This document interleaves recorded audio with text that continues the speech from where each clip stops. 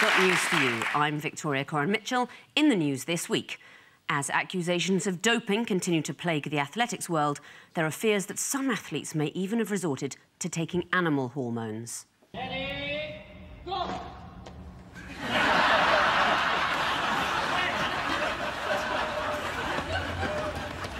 In a new documentary about the sad fate of former child stars, ITV2 catches up with the son from the Teletubbies.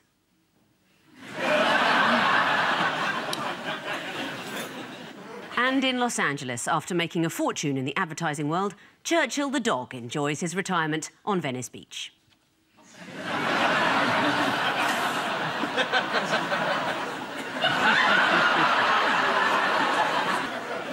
On Ian's team tonight is a comedian and actor who went to the same private school as George Osborne, which, by my reckoning, makes him the fourth poshest person on the show tonight.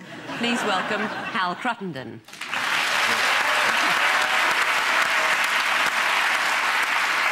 Paul tonight is the traditional right-wing Tory MP who once claimed that guitars should be banned from the Roman Catholic Mass. He really has got a feel for what voters are talking about on the doorstep. Please welcome Jacob Rees-Mogg MP. And we start with what is really the only story in the news this week. Ian and Hal, take a look at this. Oh, right, yes. Big comic story of the week. Um, that's France, that's the police, that's their rapid Soldiers. reaction force. Oh, there's our rapid reaction yeah. force. yeah, this is Paris and um, the tragedy there, and our attempts afterwards to work out what to do about what's happened. Um, the answer so far being we don't know. How terrified should you be? Should you leave your house at all, ever, yeah. again? Um, or perhaps you should go out just a bit and then run back inside quickly. Yeah. Um, it is, I mean, it, it does strike me as one of the few things we're still allowed to do is, is sort of make jokes um, and mm. laugh. Um, so we might have a go at that. Yes, yeah. what has been But, uh, but we have to talk about it, the aftermath of the events in Paris. What has been the British government's immediate response? Who have they hired? Who have they hired? They've hired 2,000 something. Um, oh, oh, SAS. Spies. Oh, spies. Not, well, 19, Should we know that? 1,900 extra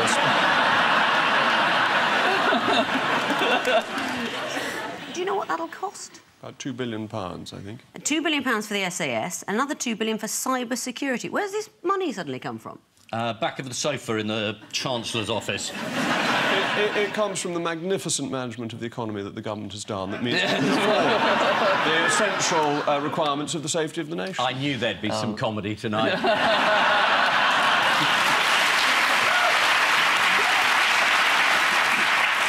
Let's talk about the football match. What was oh. remarkable about the football match on Tuesday? Oh, the uh, the English crowd joined with the French uh, supporters in singing the uh, French national anthem, which was a chance to show solidarity. Which is not always the mark of the supporter of the professional football game. But, uh, I love the way that it was sort of a little bit the, the, way the England fans sang that French national anthem, it reminded me of John Redwood at the Welsh Party conference. that sort of along de la patrie. It, was, it was wonderful. Are you suggesting everyone didn't know all the words? Yes. I don't know. I mean, do you know them? Well, yeah, obviously. not, not, everyone knows the words to the English national anthem. I think oh. the leader of the Labour Party wasn't too clear on them a few weeks ago. now, now, I must... Uh... Oh, God. And the Marseillaise yeah. is quite bloodthirsty, really. Um, I mean, it is quite a sort of full-on defensive number, which is why it was quite moving, really. But I think the French national anthem is it is perfect for this because it is all about we're going to stand up and be, and whereas ours is all about just saving the Queen. We've already got enough security around her. Yeah. It should really be, yeah.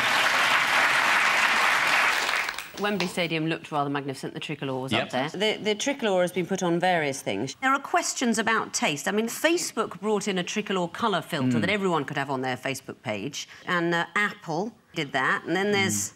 Oh, look, the... there's the bit where the tax should be. Yeah.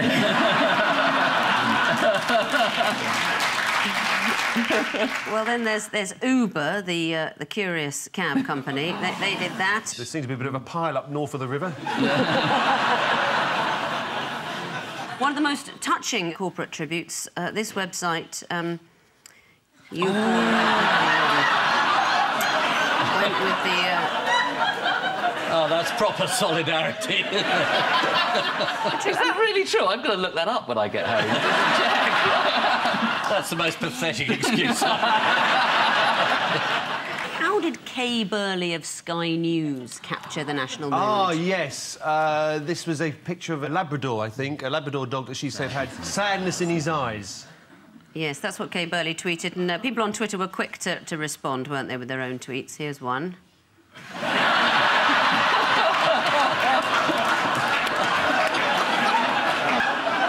There's another here. I'm sure I've another met him. no, that's sad. It's sad. yeah. Anybody else say anything particularly intemperate?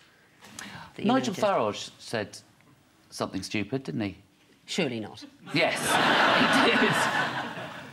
Was he saying stopping all, stop all refugees coming or something? Was that was his... But Rupert Murdoch had uh, something to say about Oh. refugees. Hmm. He said, tweeted, Obama facing enormous opposition in accepting refugees. Maybe make special exception for proven Christians. Yeah, one of the Republican presidential candidates has said the same. Is it really embarrassing being right-wing sometimes? um, when you have... All I can say to that is Jeremy Corbyn.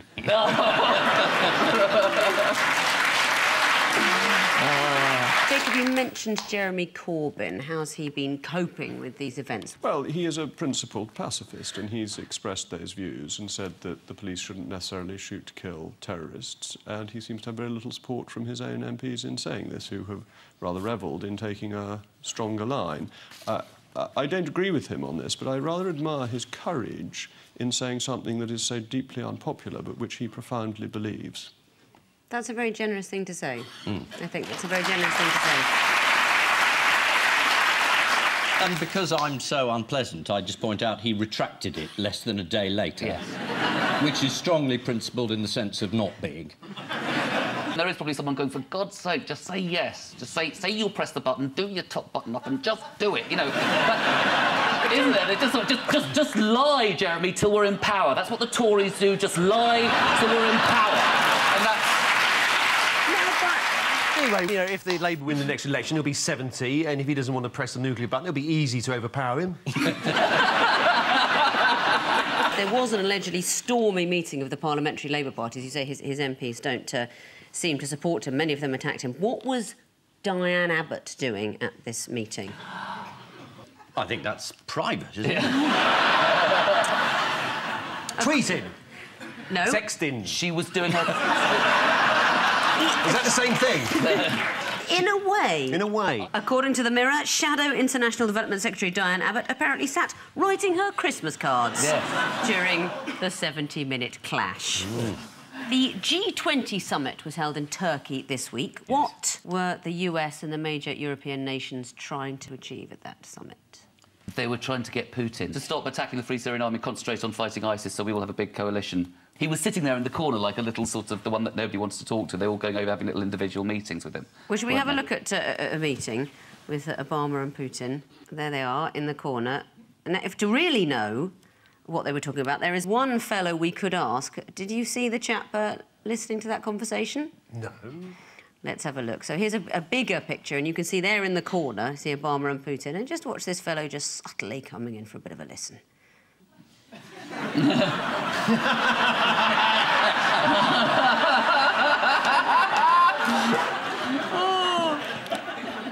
Yes, this is the aftermath of the terrorist attacks in Paris. One man leading the hunt for the terrorists is Belgium's Interior Security Minister, Jan Jambon, showing defiance to Islamic State, even with his surname.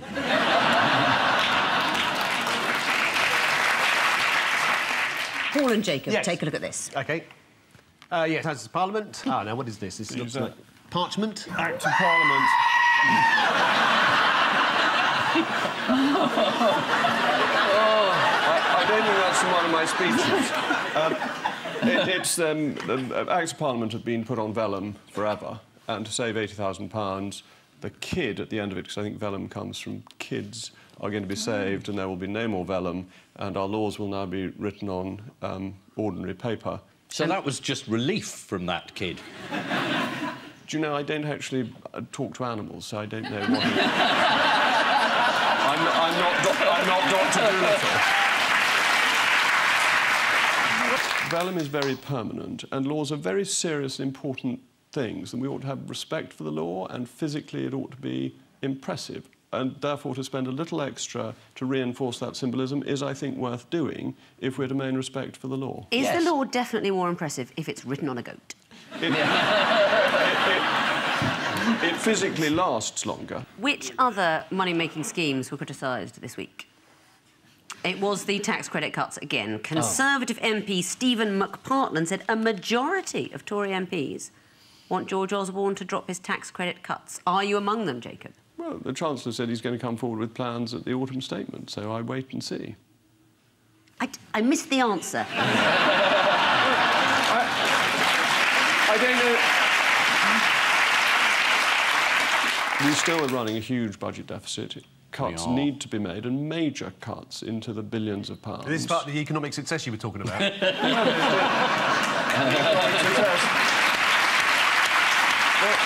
Absolutely.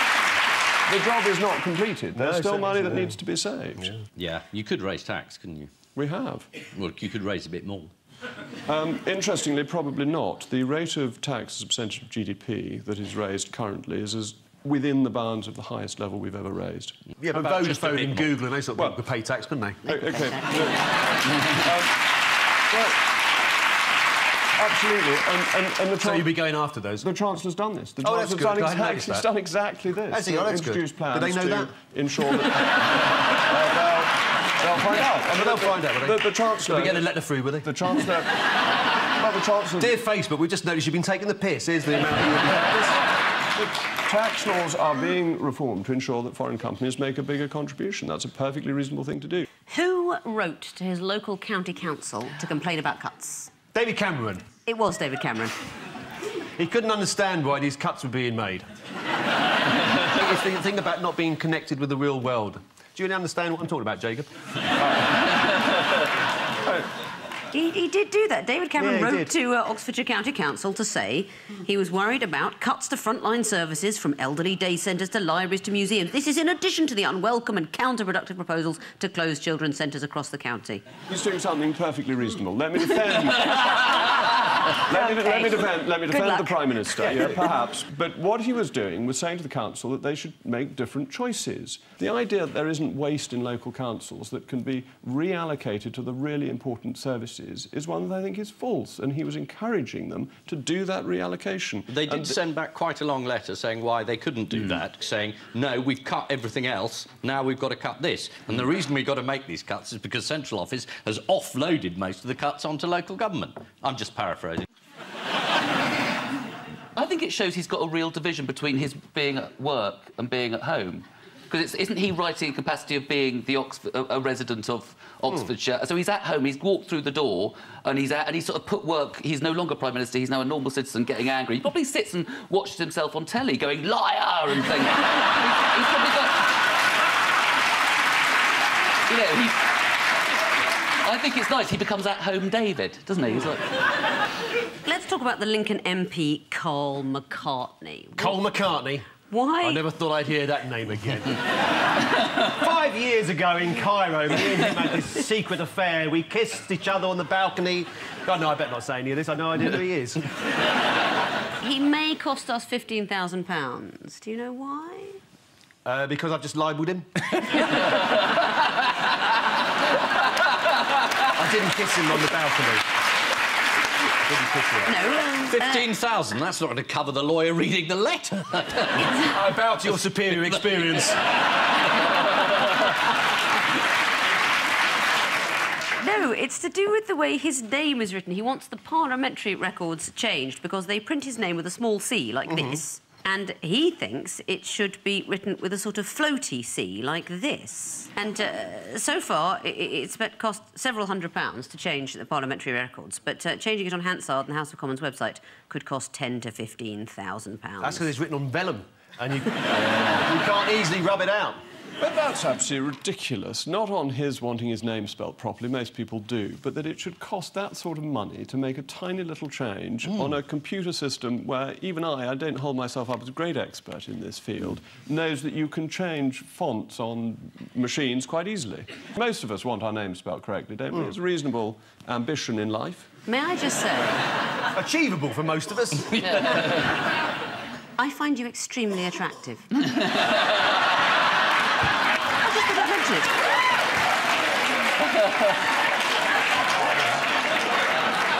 My wife is in the audience. Is your- I'm, I'm so, I'm so Would sorry, you, uh, would, Mrs. would you like uh, the rest of us to discreetly mention it? I just didn't intend to do anything about it. I just thought I'd mention it along the way. Uh, let's talk about Sir John Chilcot. Yeah, why not? That'll kill the mood. We're still waiting for. You're going to tell me you find him very attractive? you like a man who takes his time?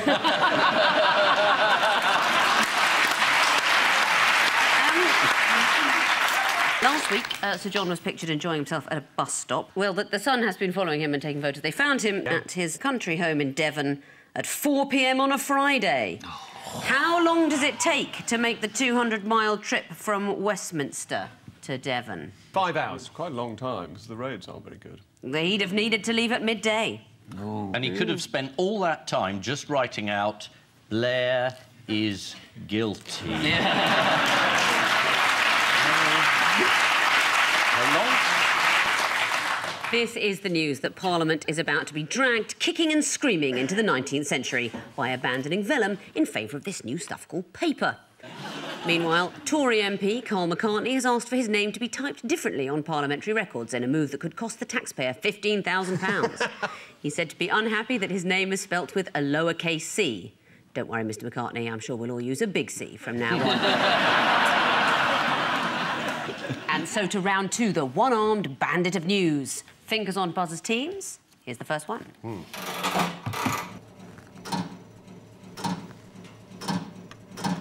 Blimey. Ian and Hal. I think this is a man who went on holiday and filmed his whole holiday with the camera around the wrong way, filming him. so that was his whole holiday, was just a picture of his face going, oh, that's good.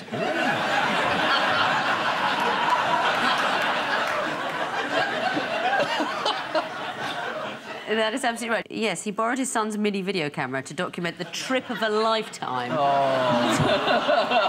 Las Vegas. He had the camera pointing the wrong way for the entire trip. Shall we have a look at his uh, highlights? Yes. Yeah. Look at that. Four viewing mountains. That's the view looking down. See? Woo! That's where we're going for breakfast.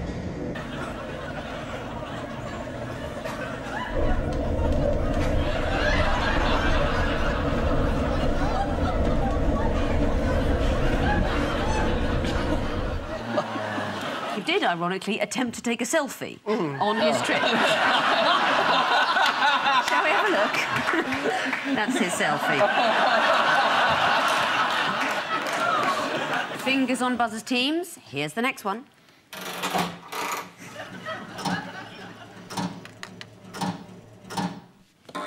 Paul and Jacob. Well, I think this is to do with athletics and that they're all taking drugs. and Not suspended. everybody is taking Well, drugs the English don't, No, uh, no. and nor do the... no, nor, nor the Scots, the Welsh or the Northern Irish. That's right. Um, but everyone else seems to. Mm. Um, and there's been a great row about this. Is one country in particular? Russia, Yeah. Russia has been suspended from competing in international athletics. Why? because they're all taking drugs and have done. and, have, and have done for years, and they've fiddled the testing regime. The key with this one, I think, is that they've said that Russia was complicit in the doping by individual athletes. Do you know what I like the fact it's the World Anti-Doping Agency, or WADA, and it's just that image of the Russians going, oh, yeah, WADA, WADA, WADA, you know? Uh, President of the uh, International Association of Athletics Federations, Sebastian Coe, is he the right person to be leading the, the clean-up? A lot of people think not. Some of his other interests have been called into question. What are they? He works for Ni- uh, Nike. Well, it's various things. Sebastian Coe is the executive chairman of sports marketing firm CSM, which represents Gazprom, one of the sponsors of the Russian Olympic team. He is also a special advisor at Nike. He has his own parking space there. And uh, he's paid £90,000 to advise the firm. Coincidentally, Nike sponsors the Russian track and field athletes. It's all quite Oh. compromising, isn't it? I don't. I, I just. It's a point of view. It's not a fact. No. Place the lawyers are there again. Fifteen grand. Lord, Lord Coe was also once chairman of FIFA's ethics committee. Oh, well, there we I didn't know are. they had one. I do want to talk about a football match. Yes. How did one footballer protest at a linesman this week? An unusual method of protest. Did he? Uh, he was sent off, and he, he, he went home to the linesman's house, disguised himself as the linesman's wife, had a very fruity Saturday night, and then in the morning revealed who he was. You are. You're not as far as you might think. this was a derby match between two Spanish lower league sides Yes. in which a disgruntled player who was watching from the stands became so incensed at what he regarded as a wrong decision in the 80th minute that he stormed onto the pitch, approached the assistant referee, pulled his trousers down, and tried to hit the linesman with his penis. Wow. This Is there no footage?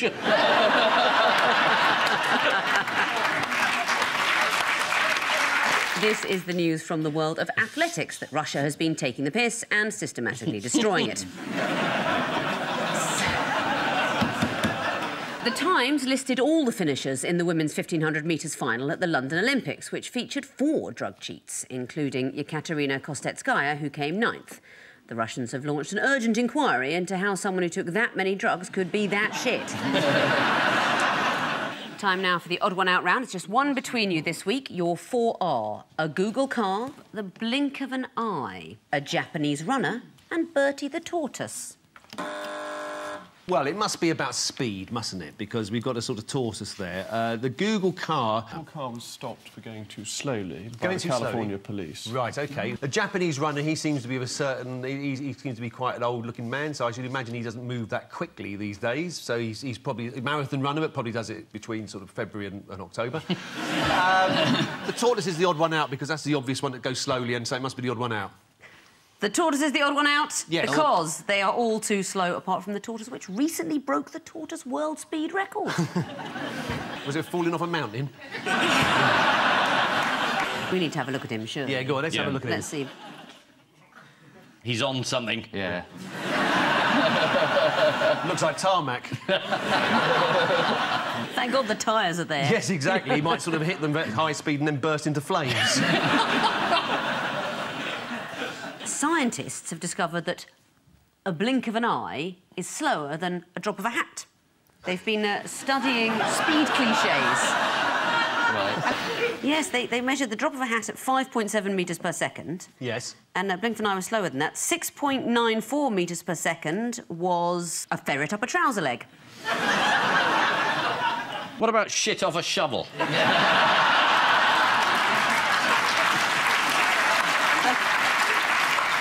And what oh, about the was good. Japanese gentleman? Yeah, what about the Japanese gentleman? He's 105. 105, oh, I didn't know. 105-year-old Hidekichi Miyazaki became Yeah. the world's oldest competitive sprinter. He completed the 100 metres in 42.22 seconds. Sh- should we have a look at him in Well, action? he's doing well, isn't he?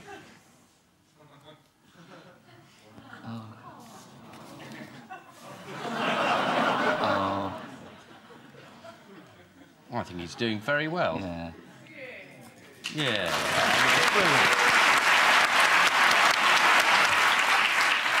He'll be dating Jerry Hall in no time.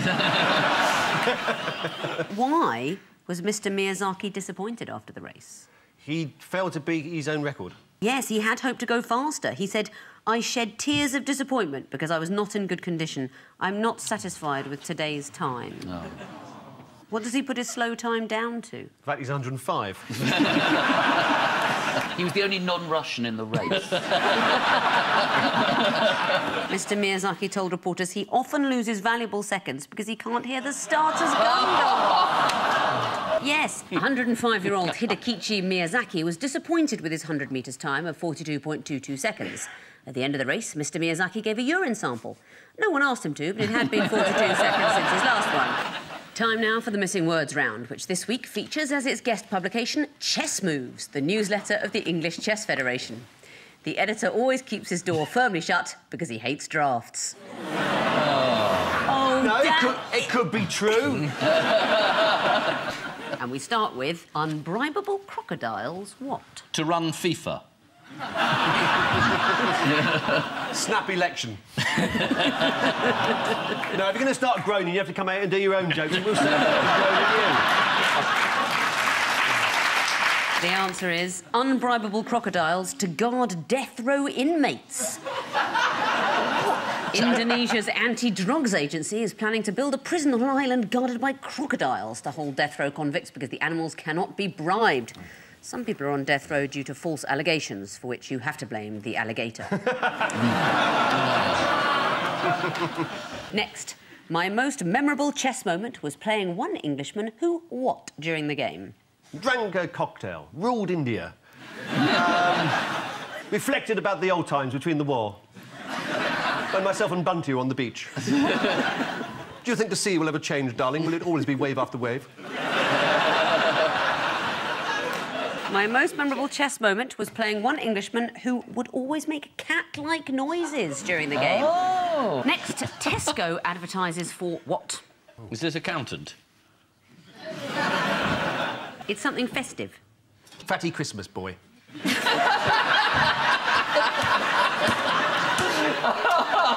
Uh, You're a fatty I Christmas think boy. I know what. The, Jacob knows what it is. I think I know what it is. I think it's for people to untangle the wires of your Christmas lights. is. But I.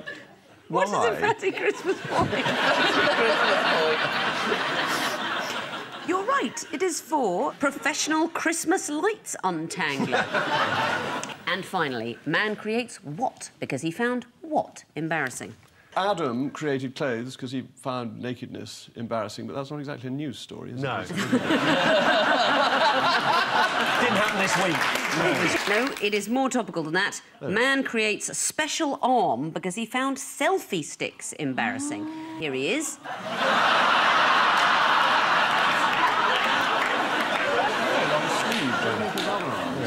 His other arm appears to be the same length. That's to stop him looking stupid. The good news is he doesn't have to take selfies anymore because he's now in a relationship with Mr. Tickle.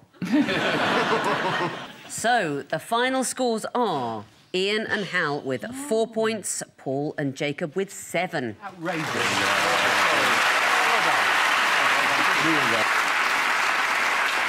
And I leave you with news that after spending decades watching her husband fail to win promotion at work, one impatient wife decides to take matters into her own hands.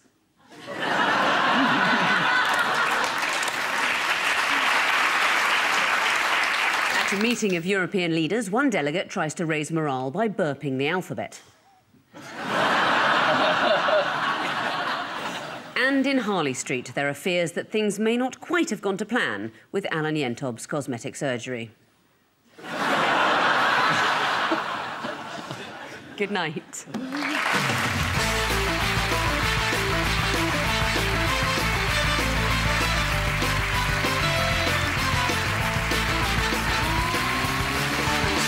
Have I Got News for You is back at its usual time next week. That's 9 o'clock. Do you ever listen to the news quiz on Radio 4 with Miles Jupp? That's available now on BBC iPlayer. Here, after the news, Graham Norton with Tom Hanks, Peter Capaldi, and even Duran Duran.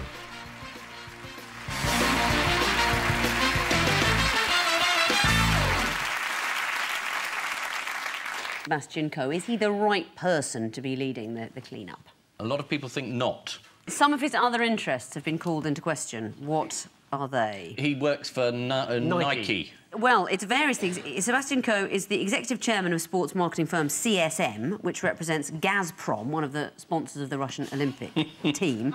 He is also a special advisor at Nike. He has his own parking space there.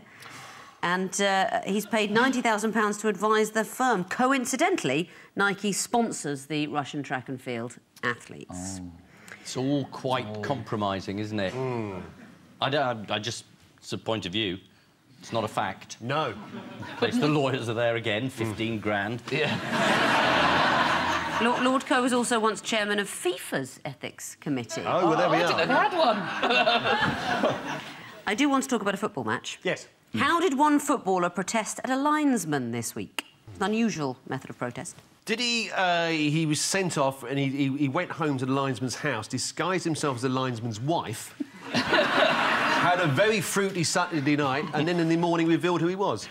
You are... You're not as far as you might think. this was a derby match between two Spanish lower league sides Yes. in which a disgruntled player who was watching from the stands became so incensed at what he regarded as a wrong decision in the 80th minute that he stormed onto the pitch, approached the assistant referee, pulled his trousers down and tried to hit the linesman with his penis. Wow. This Is there no footage?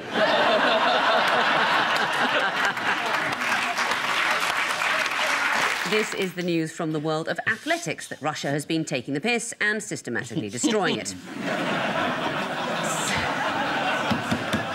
The Times listed all the finishers in the women's 1500 metres final at the London Olympics, which featured four drug cheats, including Yekaterina Kostetskaya, who came ninth.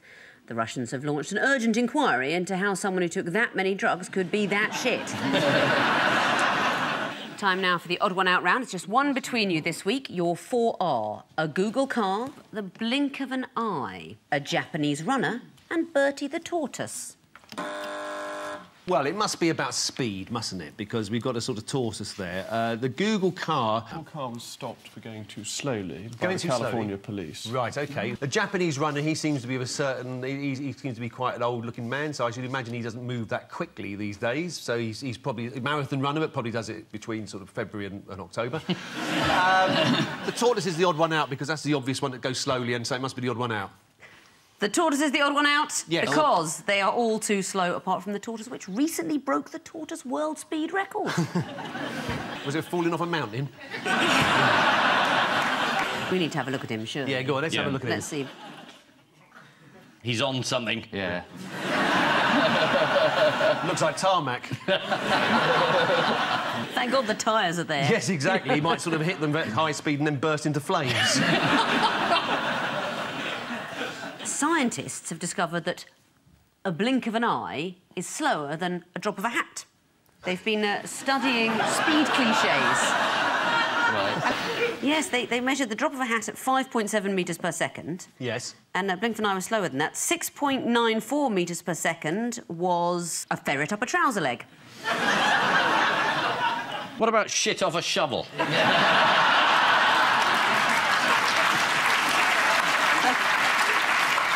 And what oh, about the was good. Japanese gentleman? Yeah, what about the Japanese gentleman? He's 105. 105, oh, I didn't know. 105-year-old Hidekichi Miyazaki became Yeah. the world's oldest competitive sprinter. He completed the 100 metres in 42.22 seconds. Sh- should we have a look at him in Well, action? he's doing well, isn't he?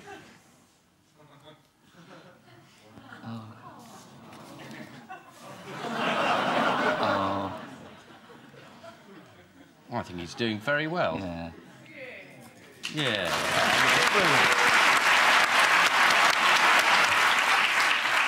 He'll be dating Jerry Hall in no time.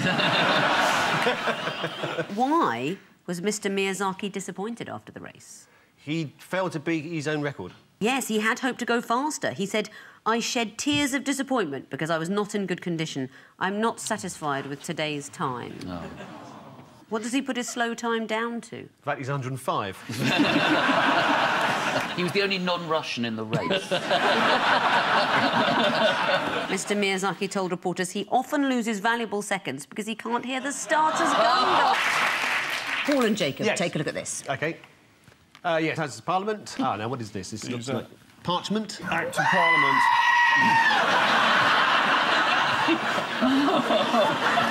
oh, I, I don't think that's in one of my speeches. Um, it, it's um, the Acts of Parliament have been put on vellum forever, and to save eighty thousand pounds, the kid at the end of it, because I think vellum comes from kids, are going to be saved, and there will be no more vellum, and our laws will now be written on um, ordinary paper. So that was just relief from that kid. Do you know, I don't actually uh, talk to animals, so I don't know what... it- I'm, I'm, not, doc- I'm not Dr Dolittle. Vellum is very permanent, and laws are very serious and important things, and we ought to have respect for the law, and physically it ought to be impressive. And therefore, to spend a little extra to reinforce that symbolism is, I think, worth doing if we're to maintain respect for the law. Is Yes. the law definitely more impressive if it's written on a goat? It physically lasts longer. Which other money-making schemes were criticised this week?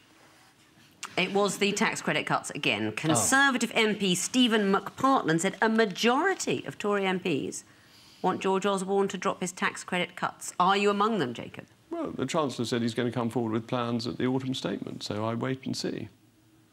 I, I missed the answer. I don't know. We still are running a huge budget deficit. Cuts need to be made, and major cuts into the billions of pounds. This is part of the economic success you were talking about.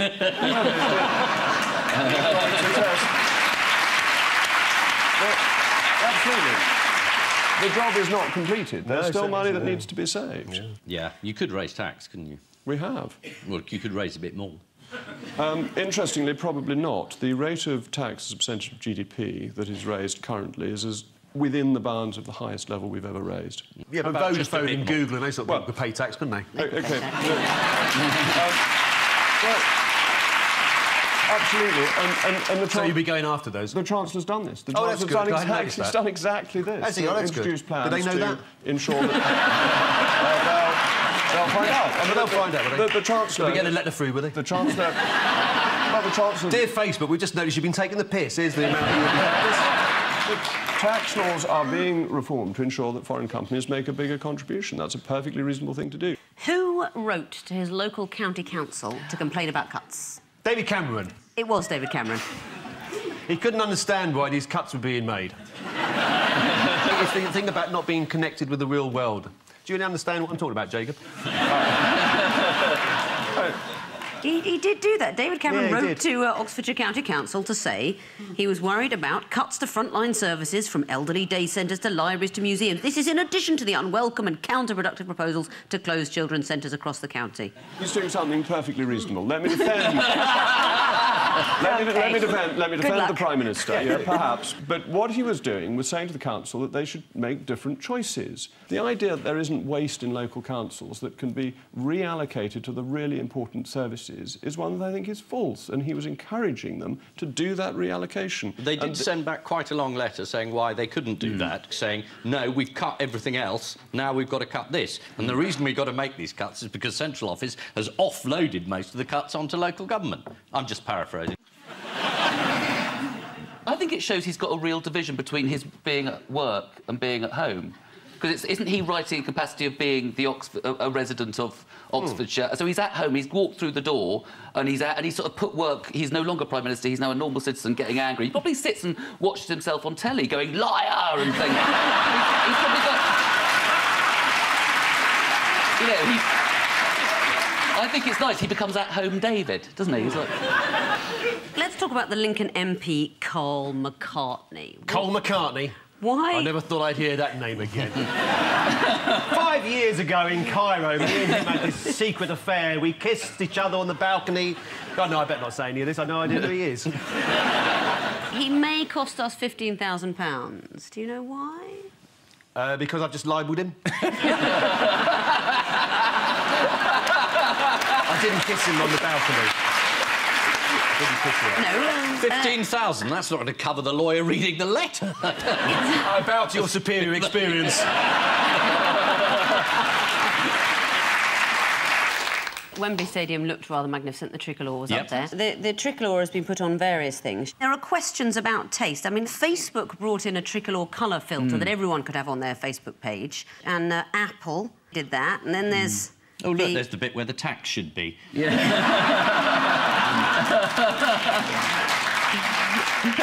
Well, then there's there's Uber, the uh, the curious cab company. they, they did that. There seems to be a bit of a pile up north of the river.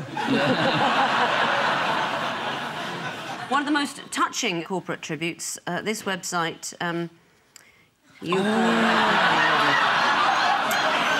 with the. Uh, Oh, that's proper solidarity. Is that really true? I'm going to look that up when I get home.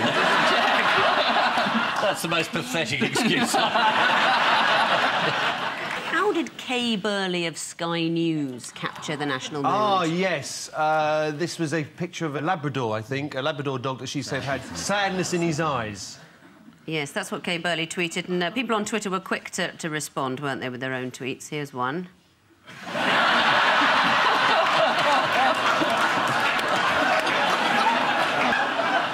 There's another here. I'm there's sure I've one. met him. no, that's that is sad. Yeah. Anybody else say anything particularly intemperate? Nigel noticed? Farage said something stupid, didn't he? Surely not. Yes, he did. Was he saying stopping all stop all refugees coming or something? Was that was his? But Rupert Murdoch had uh, something to say Oh. about refugees. Hmm. He said, tweeted, Obama facing enormous opposition in accepting refugees. Maybe make special exception for proven Christians. Yeah, one of the Republican presidential candidates has said the same. Is it really embarrassing being right wing sometimes? um, when you have. All I can say to that is Jeremy Corbyn.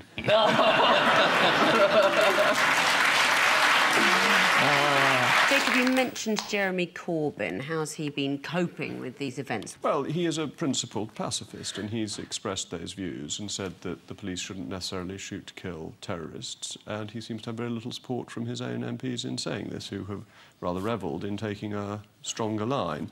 Uh, I don't agree with him on this, but I rather admire his courage in saying something that is so deeply unpopular, but which he profoundly believes. That's a very generous thing to say. Hmm. I think that's a very generous thing to say. And because I'm so unpleasant, I just point out he retracted it less than a day later. Yes. Which is strongly principled in the sense of not being.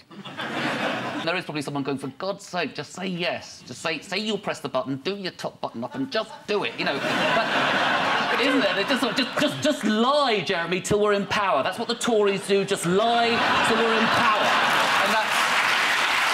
And. Anyway, you know, if the Labour win the next election, he'll be 70, and if he doesn't want to press the nuclear button, it'll be easy to overpower him. There was an allegedly stormy meeting of the parliamentary Labour parties. You say his, his MPs don't uh, seem to support him. Many of them attacked him. What was Diane Abbott doing at this meeting?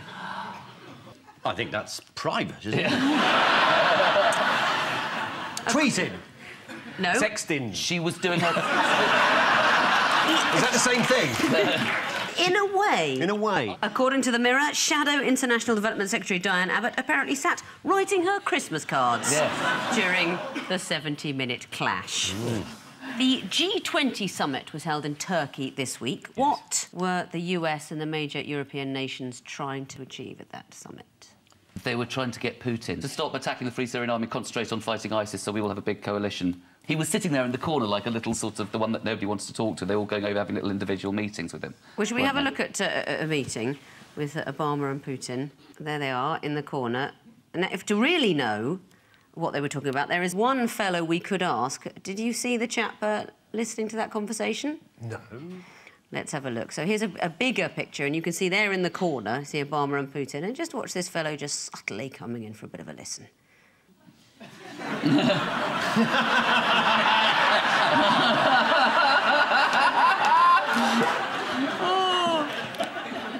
Yes, this is the aftermath of the terrorist attacks in Paris. One man leading the hunt for the terrorists is Belgium's Interior Security Minister, Jan Jambon, showing defiance to Islamic State, even with his surname.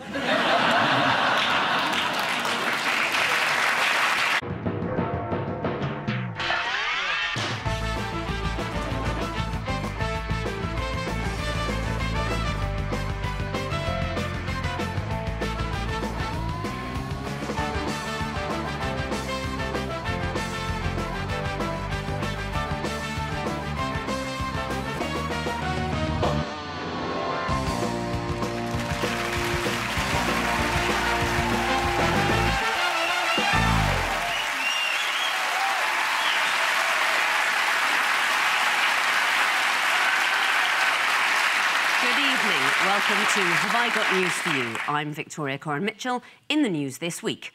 As accusations of doping continue to plague the athletics world, there are fears that some athletes may even have resorted to taking animal hormones. Ready, go!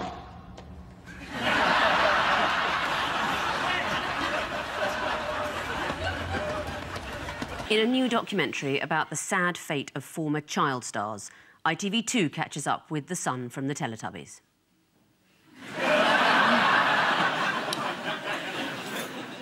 And in Los Angeles, after making a fortune in the advertising world, Churchill the dog enjoys his retirement on Venice Beach.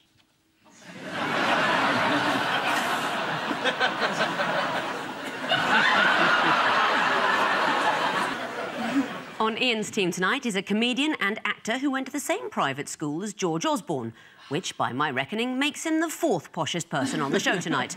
Please welcome Hal Cruttenden.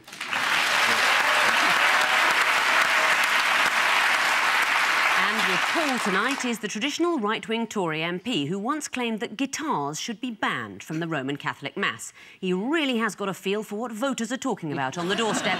Please welcome Jacob Rees-Mogg MP.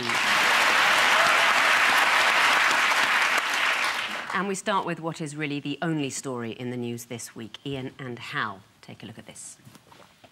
Oh, right, yes. Big comic story of the week. Um, that's France, that's the police, that's their rapid Soldiers. reaction force. Oh, there's our rapid reaction Yeah. force. yeah, this is Paris and um, the tragedy there, and our attempts afterwards to work out what to do about what's happened. Um, the answer so far being we don't know. How terrified should you be? Should you leave your house at all, ever, Yeah. again? Um, or perhaps you should go out just a bit and then run back inside quickly. Yeah. Um, it is, I mean, it, it does strike me as one of the few things we're still allowed to do is, is sort of make jokes um, and laugh. Um, so we might have a go at that. Yes, what has been... But, uh, but we have to talk about it, the aftermath of the events in Paris. What has been the British government's immediate response? Who have they hired? Who have they hired? They've hired 2,000 something. Spies, Oh, oh, extra SAS. spies. Oh, and spies. No, well, 19, Should we know that? 1900 extra spies. Do you know what that'll cost? About two billion pounds, I think. Two billion pounds for the SAS, another two billion for cyber security. Where's this money suddenly come from? Uh, back of the sofa in the Chancellor's office. It, it, it comes from the magnificent management of the economy that the government has done that meets the essential uh, requirements of the safety of the nation. I knew there'd be some comedy tonight.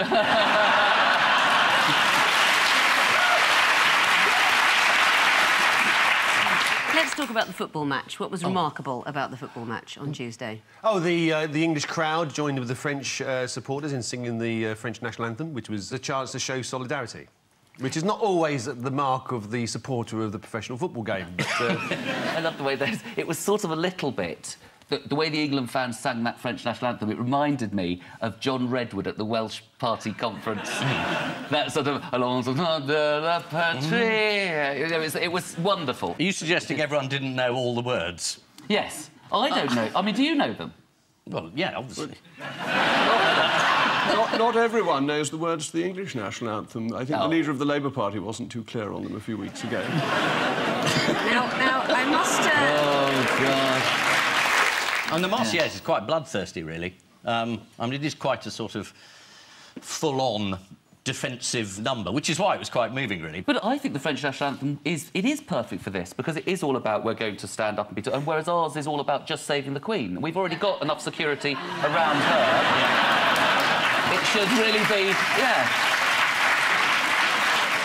no, it's to do with the way his name is written. He wants the parliamentary records changed because they print his name with a small c, like this. And he thinks it should be written with a sort of floaty C, like this. And uh, so far, i- i it's cost several hundred pounds to change the parliamentary records, but uh, changing it on Hansard and the House of Commons website could cost ten to fifteen thousand pounds. that's because it's written on vellum, and you, you can't easily rub it out.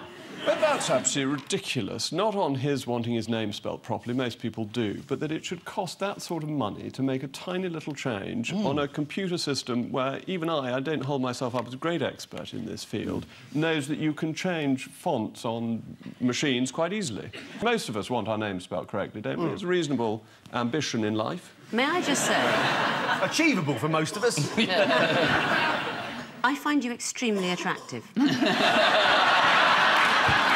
thought I'd mention it.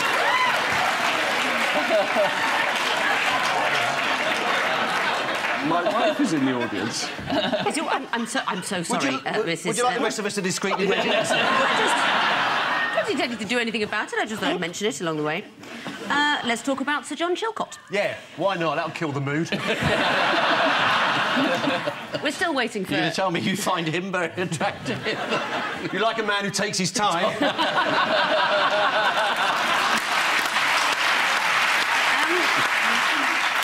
Last week, uh, Sir John was pictured enjoying himself at a bus stop. Well, the, the Sun has been following him and taking photos. They found him at his country home in Devon at 4 p.m. on a Friday. How long does it take to make the 200-mile trip from Westminster to Devon? Five hours. Quite a long time, because the roads aren't very good. He'd have needed to leave at midday. Oh, and he could have spent all that time just writing out Blair is guilty. How? This is the news that Parliament is about to be dragged kicking and screaming into the 19th century by abandoning vellum in favour of this new stuff called paper. Meanwhile, Tory MP Karl McCartney has asked for his name to be typed differently on parliamentary records in a move that could cost the taxpayer £15,000. He's said to be unhappy that his name is spelt with a lowercase c. Don't worry, Mr McCartney, I'm sure we'll all use a big C from now on. And so to round two, the one-armed bandit of news. Fingers on buzzers teams. Here's the first one. Hmm.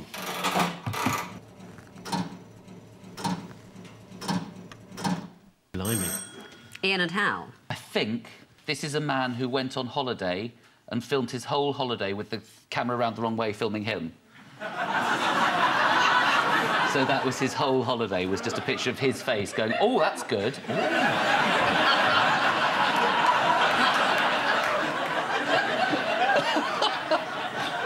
That is absolutely right. Yes, he borrowed his son's mini video camera to document the trip of a lifetime. Oh. to Las Vegas. He had the camera pointing the wrong way for the entire trip. Shall we have a look at his uh, highlights? Yes. Yeah. Look at that. Four viewing mountains. That's gonna. That's the view looking down. See? Woo! That's where we're going for breakfast.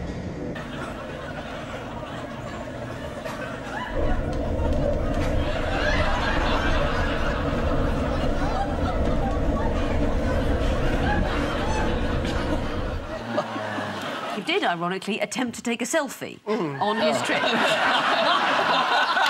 Shall we have a look? That's his selfie. Fingers on Buzz's teams. Here's the next one.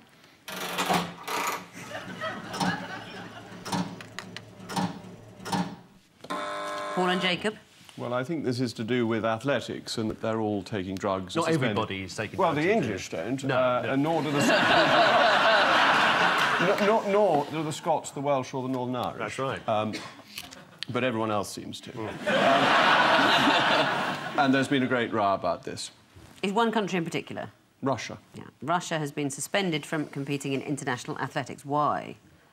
because they're all taking drugs and have done. and, have, and have done for years, and they've fiddled the testing regime. The key with this one, I think, is that they've said that Russia was complicit in the doping by individual athletes. Do you know I like the fact it's the World Anti-Doping Agency, or WADA, and it's just that image of the Russians going, oh, yeah, WADA, WADA, WADA, you know? Uh, President of the uh, International Association of Athletics Federations,